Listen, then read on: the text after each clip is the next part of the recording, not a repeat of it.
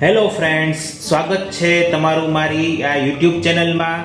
આજે હું બનાવવા જઈ રહ્યો છું ફરાળી ભેળ.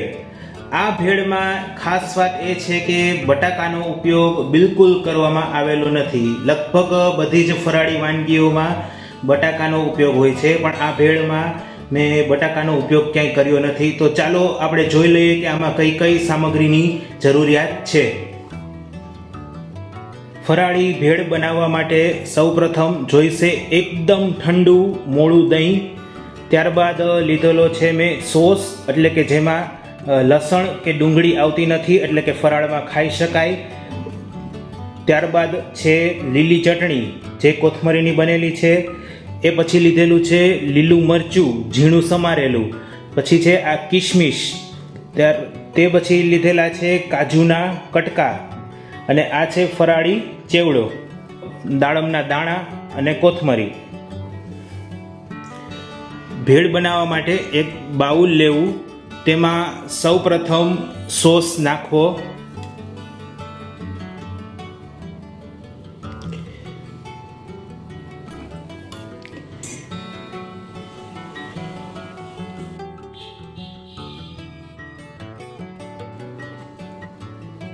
મેં ત્રણ ચમચી જેટલો સોસ લીધેલો છે. આપને સ્વાદની અનુકૂળતા મુજબ તેમાં વધઘટ કરી શકાય છે. સોસ નાખ્યા બાદ તેમાં લીલી ચટણી જે કોથમરીની છે એ નાખવી.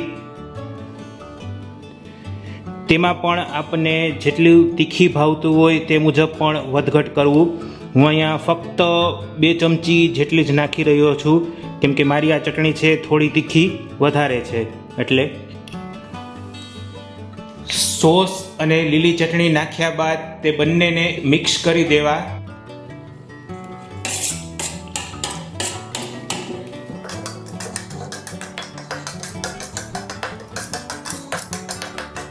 સોસ અને લીલી ચટણી એકદમ ભળી જવા જોઈએ.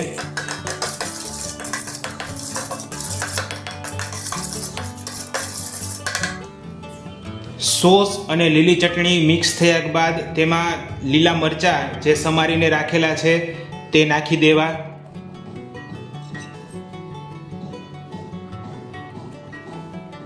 ત્યારબાદ તેમાં થોડા દાડમના દાણા નાખી દેવા.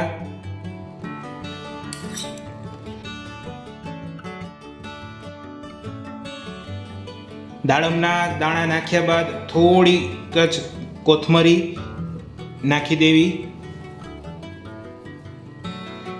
કોથમીર નાખ્યા બાદ તેમાં ચેવડો જે આપણે લીધેલો છે તે બધો નાખી દેવો. ચેવડો નાખી ને આ બધી જ વસ્તુને એકદમ વ્યવસ્થિત મિક્સ કરી દેવી.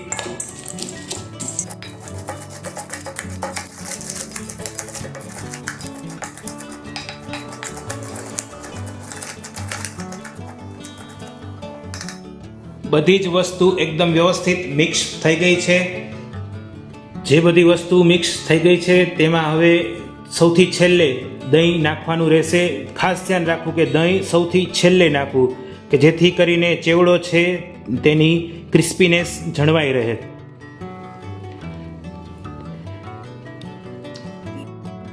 ત્રણ ચમચી જેટલું દહીં આમાં હું ઉપયોગ કરી રહ્યો છું.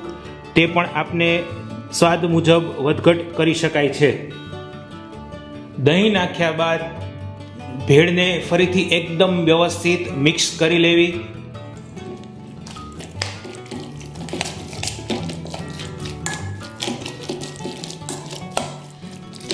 મિક્સ કરો ત્યારે તમને એવું લાગે કે હજુ દહીં ઓછું પડે છે, તો થોડું ઉમેરવું હોય તો ઉમેરી શકાય તે આપના સ્વાદ મુજબ રાખવું. એક વાતનું ખાસ ધ્યાન રાખવું કે દહીં એકદમ ઠંડુ લેવું. જેથી કરીને ભેળનો ટેસ્ટ કંઈક અલગ જ આવશે. એકદમ ચિલ્ડ ભેળ લાગશે. દહીં એકદમ વ્યવસ્થિત મિક્સ થઈ ગયું છે. હવે આ ભેળને હું પ્લેટમાં કાઢી લઈશ અને તેને સજાવી દઈશ. હવે આ ભેળને એક પ્લેટમાં કાઢી લેવી.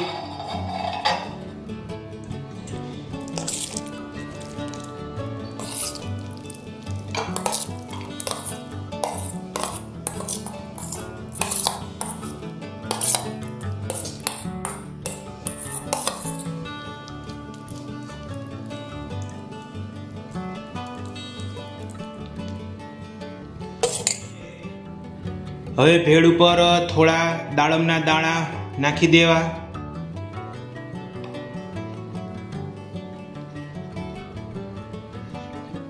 દાડમના દાણા નાખ્યા બાદ થોડું લીલું, ઝીણું મરચું ફાવે તે મુજબ નાખવું. જો આ ન ફાવે તો ઓપ્શનલ છે. નાખવું ફરજિયાત નથી. લીલું મરચું નાખ્યા બાદ થોડી કિશમિશ નાખવી. કિશમિશ નાખ્યા બાદ કાજુના જે ટુકડા છે તે ગોઠવી દેવા.